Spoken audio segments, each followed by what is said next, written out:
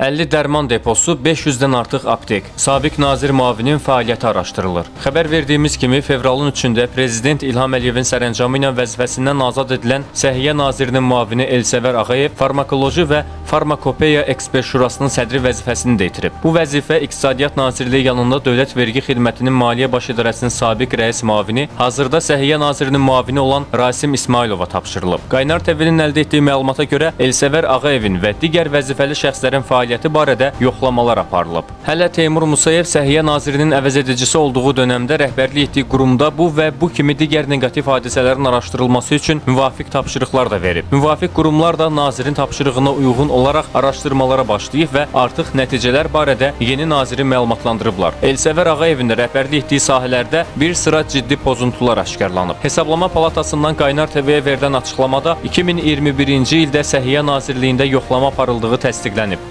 Audit Hesablama Palatasının kollegiya iclasında müzakirəyə çıxarılıb və qərar qəbul edilib. Digər qurumlarla bərabər Səhiyyə Nazirliyində də aparılan yoxlamaların nəticələri barədə bu ilin mart ayında hesabat dərc ediləcək. Qeyd edək ki, Elsəvər Ağayev uzun illər ən böyük gəlirli və vacib sahə olan əczaçılıq və tibb sənayesi, dərman və tibbi texnika istehsalat ticarət birliyinə də rəhbərlik edib. Əldə etdiyimiz məlumata görə hər iki birliyin nəzdində fəaliyyət göstərən minə yaxın aptekdə və əczaçılıq mərkəzlərində onun qoyduğu şərtlərlə işlər aparılıb. Səhiyyə Nazirliyinə məxsus bu birliklərin bəzi mülkləri isə özəlləşdirilərək nazir müavinin yaxın adamların adına keçirilib. Digər 3 nazir müavini ilə yanaşı pozuntuların nəticəsi olaraq 23 il vəzifədə çalışmış Elsəvər Ağayev sonuncu vəzifəsi ilə də vidalaşmalı olub. Bugünə olan məlumata görə əczaçılıq sahəsində Azərbaycanda fəaliyyət göstərən 100-dən çox topdan satış dərman deposunun 50-yə yaxını, 3000-dən çox aptekin 500-ə yaxınının Elsəvər Ağayevin yaxın çevrəsinə məxsus olduğu deyilir. Baş verənlərlə bağlı Elsəvər Ağayevlə əlaqə saxlasaq da, bu barədə ondan münasibət almaq cəhdlərimiz boşa çıxdı.